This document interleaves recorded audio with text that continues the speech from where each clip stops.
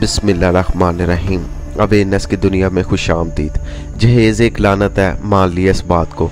लेकिन ये किधर की इंसानियत है कि जो हमने दिमाग ढूंढना है, उसकी सैलरी एक लाख हो या उसका कारोबार जो है अच्छी तरह स्टैंड हो। इस तरफ़ भी तो देखा जाए मॉर्निंग शो में जो खातन इस बात पे शोर मचाती हैं या घर बसाने के तरीके बता रही होती हैं, खुद वो सारी तलाक याफ्ता है। और उधर बैठे शोर मचा रही होती हैं, जी जहेज़ ऐसे कर लिया, वो लड़की के घर वाले किधर से लाएँगे? वो उनके पास इतने मसाइल ही नहीं है, वो कहाँ कहाँ से ये सारा सामान जमा करेंगे? लेकिन जो लड़की के घर वाले ये इशू उठाते हैं कि लड़का जो है वो भी स्टैंड होना चाहिए। इस बात पे क्यों नहीं शूटता इस बात पे भी तो कैंपेन होनी चाहिए ना। शोर शराबा होना चाहिए कि जी कम आमदन वाले लड़के को भी जो है दमाद की सूरत में कबूल किया जाएगा। इस तरफ़ कोई नहीं आता।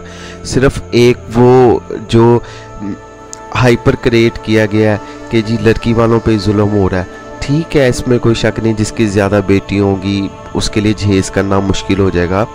मुनासिब हद तक जो भी ज़रूरत की चीज़ें हैं, वो हर इंसान देता है जहाँ तक कोशिश कर सकता है कोई। ठीक है, और जो वैसे कहता है ना कि हमें जहेज़ की ज़रूरत नहीं, उसमें से चंद एक ही लोग होते हैं जो इस बात पे जो वो एग्री करते हैं। बाकी बाद में फिर ताने मेने शुरू हो जाते हैं कि तुम्हें क्या दिया, तुम क्या लेके आई या शादी के बाद। ये सिर्फ़ रवायती बातें हैं। अगर इस्लाम ने हमें निकाह को बहुत आसान से आसान तर करके बताया हुआ है कि निकाह जो है ना, उसके लिए आसानियाँ पैदा की हुई है।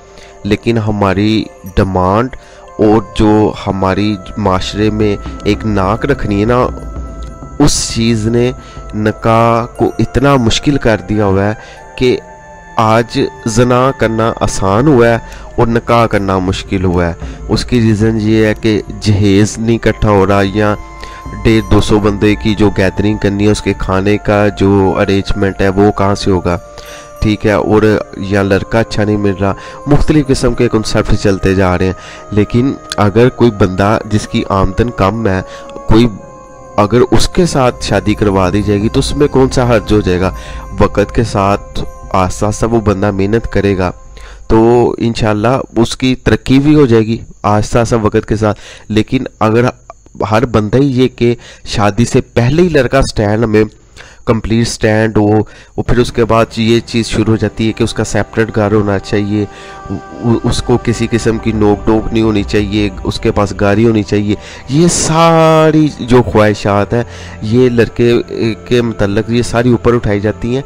इस बात पे क्यों नहीं उठाया जाता? सिर्फ़ जहेज़ लानत है, जहेज़ लानत है। इस चक्कर को बहुत ज़्यादा ऊपर किया जाता है और जो दूसरी तरफ़ का मामला था, उसको सारी नज़रअंदाज किया जाता है। इसमें हमारे बड़ों को थोड़ा सा कंप्रोमाइज़ करना चाहिए कि लड़की वालों को भी और लड़के वालों को भी कि किसी हद तक म्याना रवि रख के मतलब निकाह के अंदर आ जाए, एक पाक रिश्ता कायम हो। इस तरफ़ कोई नहीं आ रहा। बाहर लोग जो मर्ज़ी करते जा रहे हैं। आज मतलब वही बंदा जो है, जिस पे अल्लाह का बड़ा फजल है, वही कबारा है। बाकी तो हर बंदे ने क्या क्या किया हुआ है। ये तो आप बंदा किसी उसके दोस्त से पूछे या कोई बंदा बैठ के बताए डिस्कस करे तो पाँव पाँव के नीचे से ज़मीन ही निकल जाए कि हर बंदे की हवाएँ अलग हैं, हर बंदे की बातें ही अलग हैं। खैर, अब हमें थोड़ा सा इस बारे में गौर फ़िक्र करना चाहिए, नकाह को सान करना चाहिए। मुख्तलिफ़ किस्म के इशू जो है ना, वो क्रिएट नहीं करने चाहिए। बजाय के गुनाह की तरफ़ जाए, बंदा पाक रिश्ता जो है ना, वो अपनाए। अपनी राय कमेंट में ज़रूर पास कीजिएगा। इसके साथ हमें इजाज़त दें। अल्लाह हाफिज़।